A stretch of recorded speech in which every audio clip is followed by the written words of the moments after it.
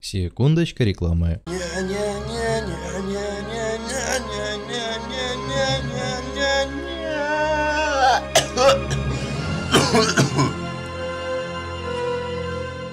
А если ты хочешь увидеть, как друг исполняет задание, которое ему загадал за то, что он проиграл мне в дотке, то переходи по ссылочке в описании или вообще тыкай на эту няшку-поняшку и подписывайся на канал и запомни, я слежу за тобой. Привет, чуваки, это Топ Дота. Я знаю, что вы говорили поменьше делать разных топов, да и самому они мне поднадоели. Но вот об этой теме я вам очень уж хочу рассказать, потому что знаю, насколько много людей начинают играть в Доту, и насколько много людей не застали те жесточайшие просто баги, о которых я вам сегодня расскажу. Возможно, некоторые из вас спросят, да как в такое забагованное говно вообще играли? Хотя багов на самом деле хватает и сейчас, просто возможно их более оперативно фиксят, но вспомните того же Мортлинга с и его бесконечным агром, так что проблем хватает даже сейчас. Ну а сегодня у нас будут более алдовые баги, которые пофиксили давным-давно. Первый из них это Нага, которая дюпает вещи. С помощью иллюзии она могла получить несколько своих инвентарей на халяву.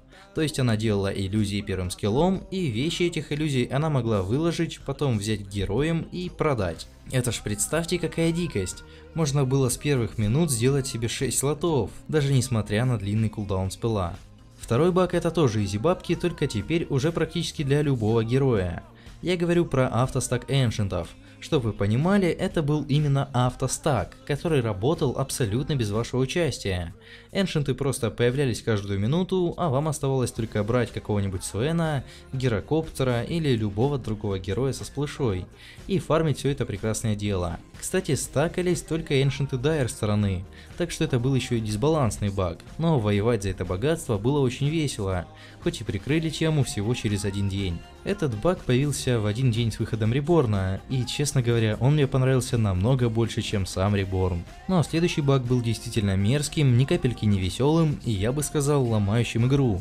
Суть в том, что в один период времени дотку можно было перегрузить количеством дропнутых предметов.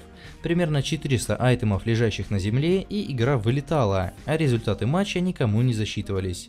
Юзеры это прохавали, и когда было очевидно, что игра сливается к чертям, они продавали свои инвентари, закупали на все бабки веточек по 50 голды, так как это был самый дешевый айтем, и выкладывали это все дело у себя под фонтаном. Всего 1020 золота и дота крашилась, ММР не терялся и 5 абузеров были довольны. Правда вот проблема была в том, что хоть и можно было застраховать себя от потери рейта, но вот поднять рейт было практически нереально, потому что эту тему абузили все кому не лень, а следовательно и ваши враги. Четвертая дичь знакома уже очень многим. Это хуки под фонтан с любой точки карты. Чен кидал на пуджа возвращение на фонтан, Пуш кидал хук в сторону жертвы по определенному таймингу, и герой противника улетал на этом хуке прямо за пуджом на базу. И примечателен этот баг тем, что не фиксили его целых два года. Дошло все до того, что Нави начали обузить эту тему прямо на третьем инте, и вот только после этого Вольво прикрыли лавочку. Ну, подумаешь, два года. Хотя баг, конечно, был жестким только в умелых руках, и каждый второй школьник не мог его успешно юзать. И пятый баг, возможно, самый жесткий из всех, о которых я сегодня говорил. Это перемещение трона под фонтан. Да-да, именно так. С помощью хроносферы Войда и фиссуры Шейкера была возможность сдвинуть трон, а провернув эти манипуляции несколько раз, возможно было сдвинуть его прямиком под фонтан. Следовательно, сломать его было дико сложно. Таким образом, на короткий промежуток времени Дота превратилась в игру, кто быстрее загрузится и пикнет Войда с Шейкером. В этом был весь смысл игры, ведь победить против этой комбы было просто нереально. Хотя иногда эти герои попадали в руки достаточно честных игроков, которые не хотели заниматься подобной херней. Вот тогда было круто. Ну и на этом все. Пишите, какие жесткие баги вы помните, подписывайтесь на канал, если хотите быть в курсе свежих видосиков, а также смотрите старые ролики, их тоже довольно много. Удачи!